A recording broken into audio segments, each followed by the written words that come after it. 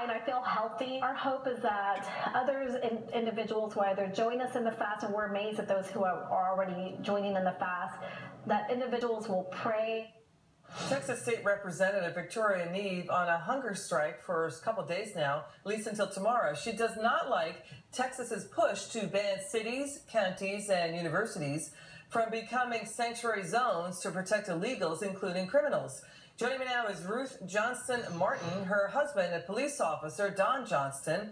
He died basically from complications after he saved the life of a senior citizen but he was shot and paralyzed by an illegal immigrant from Asia. Her husband passed away a about a decade after this horrific disgrace of a crime due to related injuries. Good to see you, Ruth. Thanks for coming on. First, your husband's a Thank hero, you, Ruth. Can you tell yes. us his story? Well, yes, absolutely. We were married for only five months. Uh, just he was my best friend, uh, amazing man and he answered a call. It was a it was a basic call at a bank. Someone was trying to cash a check on a closed account. When he walked into the bank, he saw the suspect immediately walking toward him. Um, what we found out later is this person had told uh, people in the bank that he was going to kill the man in uh, armor. And he pulled out his weapon. My husband immediately uh, pulled out his service revolver and it was at that moment that an elderly man stepped right in between them.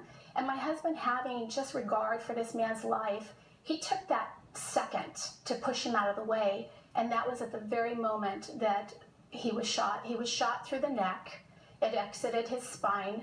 Um, he was left mute. He couldn't speak. Uh, his vocal cord was severed, and he was paralyzed from T1 T level down. So it was chest level down couldn't use his arms, legs, couldn't speak to me. So for the first few months, uh, all we could do was just try to communicate through just visual. It was it was the most difficult thing that we've ever had to go through. You know, uh, our hearts go out to you, Ruth. It is such a disgrace that this happened. And It is horrific. We are so sorry this happened to you and your hero of a husband. Um, we like your thoughts on Congresswoman Nancy Pelosi. She says that anti-sanctuary city legislation is driving fear in her congressional district. What doesn't she understand about families like yours?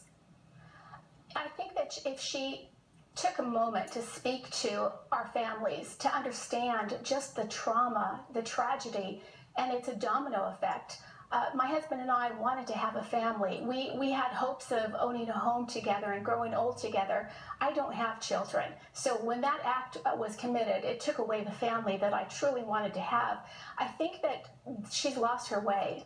I think that if she had an opportunity just to sit roundtable with uh, some of the family members that you just aired, uh, Laura Wilkerson and Dan Golvach, we've all lost someone that we love tremendously. Now, the prosecutor in the case told me and my husband at his sentencing that this man that shot him was in this country illegally. That's all I know. Because of the laws of the state of California, I don't know the specifics on the case, but this man had been arrested days before he shot my husband. Now it goes back to that whole story about uh, the detainers. We should be able to entrust that when there's an illegal alien or a refugee who is here past his visa and he has committed a crime, I should be notified. Yeah. End of story. And uh, unfortunately, you have individuals who are on hunger strikes.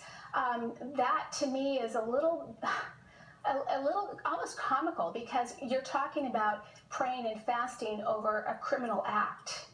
Ruth Johnson. Doesn't make any sense. Yeah, we hear you loud and clear, Ruth Johnson Martin.